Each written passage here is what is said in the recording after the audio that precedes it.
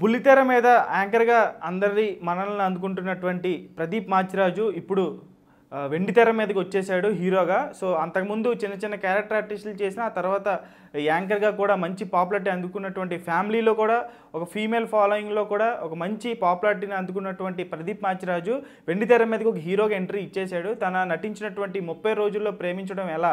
మున్నా అనే కొత్త దర్శ దర్శకుడితో అలాగే అనుప్రూబెన్స్ మ్యూజికల్తో అలాగే తమిళ నటి కొత్త నటి అమృత అయ్యర్తో తనకి మొదటి సినిమా తెలుగులో సినిమా సో అంతకుముందు తమిళ్ళో కూడా కొన్ని సినిమాలు చేసినప్పటికీ సో ఈ సినిమాతో తెలుగు పరిచయం అయింది అమృత అయ్యర్. అయితే కథలోకి వెళ్తే ఈ నీలి నీలి ఆకాశం అనే పాటతో ఈ సినిమా ఒక అప్పట్లో ఒక హైప్ని తెచ్చుకుంది. అయితే దాని తర్వాత రిలీజ్ చేసాం చేద్దాం అనుకునేటప్పటికి కరోనా లాక్డౌన్ వల్ల ఈ సినిమా రిలీజ్ కాలేదు. సో డిజిటల్ ఆఫర్స్ చాలా వచ్చినప్పటికీ వాళ్ళు థియేటర్లోనే ఈ ఎక్స్పీరియన్స్ని మీ జనాలకి ఇవ్వాలి అని అని చెప్పేసి ఇప్పటివరకు ఆగారు. థియేటర్స్ కౌంట్ చూసుకుంటే కూడా ఈ సినిమాకి బాగా బాగానే వచ్చినాయి అని చెప్పాలి. దానికి బికాస్ రీజన్ ఏంటంటే one of the main reason Pradeep మాజిరాజ్కున్న ఒక చిన్నపాటి ఫ్యాన్ బేస్ కావచ్చు.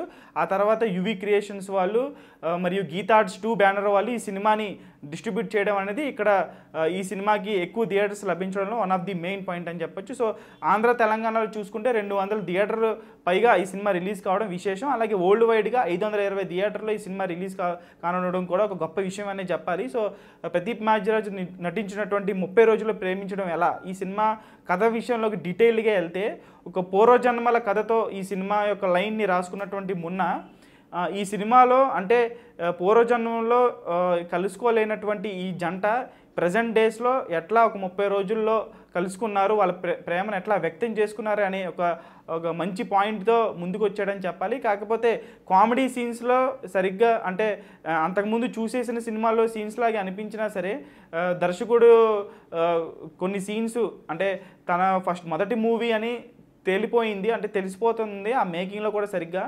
సో తర్వాత ప్రదీప్ పాచిరాజు పర్ఫార్మెన్స్ విషయానికి వస్తే తను చేసినటువంటి కామెడీ బుల్లితెర మీద ఎట్లా ఉంటుందో సినిమాలో కూడా అది రిఫ్లెక్ట్ అయిందని చెప్పాలి.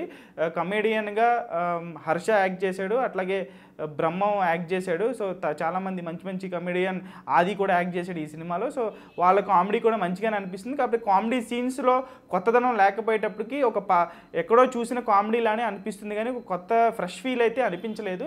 కాకపోతే ప్రదీప్ మాచిరాజు మరియు అమృత అయ్యర్ పర్ఫార్మెన్స్ ఆకట్టుకుంటుంది. అలాగే నీలి నీలి ఆకాశం సాంగ్ కూడా ఫస్ట్ నుంచి కూడా ఈ సినిమా సాంగ్ పిక్చరైజేషన్ కూడా చాలా అందరినీ ఆకట్టుకుంటుందని చెప్పాలి. అనుప్రూబెన్స్ బ్యాక్గ్రౌండ్ మ్యూజిక్ కూడా ఒక రిఫ్రెషింగ్గా ఉంటుందనే చెప్పాలి.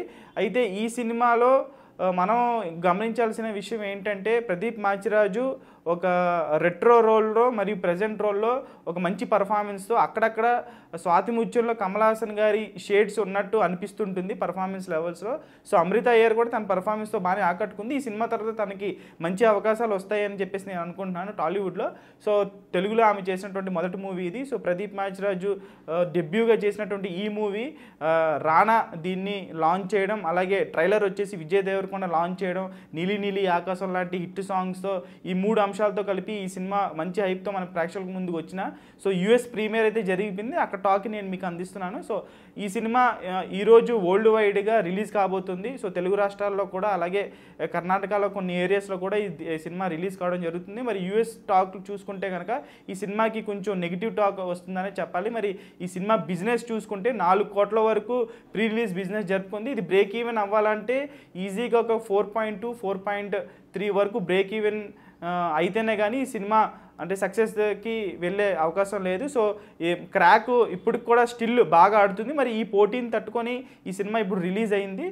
మరి ఈ సినిమా టాక్ బాగుంటే కనుక ఖచ్చితంగా ఒక సక్సెస్ఫుల్ మూవీగా ఒక సక్సెస్ఫుల్ కెరీర్ని స్టార్ట్ చేసినట్లు అవుతుందని చెప్పేసి నేను అనుకుంటున్నాను ప్రదీప్ మాంచరాజు మరి చూడాలి జనాలు ఈ సినిమాకి ఎటువంటి రిజల్ట్ని అందిస్తారో. సో ఖచ్చితంగా ఈ సినిమా అందరినీ ఆకట్టుకుంటుందని మనస్ఫూర్తిగా కోరుకుంటున్నాను. ఖచ్చితంగా వన్ టైం వాచబుల్ మూవీ ఖచ్చితంగా అందరూ ఎంజాయ్ చేయండి థియేటర్స్లో థ్యాంక్ యూ వెరీ మచ్